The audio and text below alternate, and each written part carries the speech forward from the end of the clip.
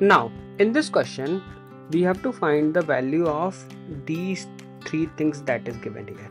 Now, we have to understand I'm writing the value as i here, and this one is j, this one is k, and it will goes in clockwise direction.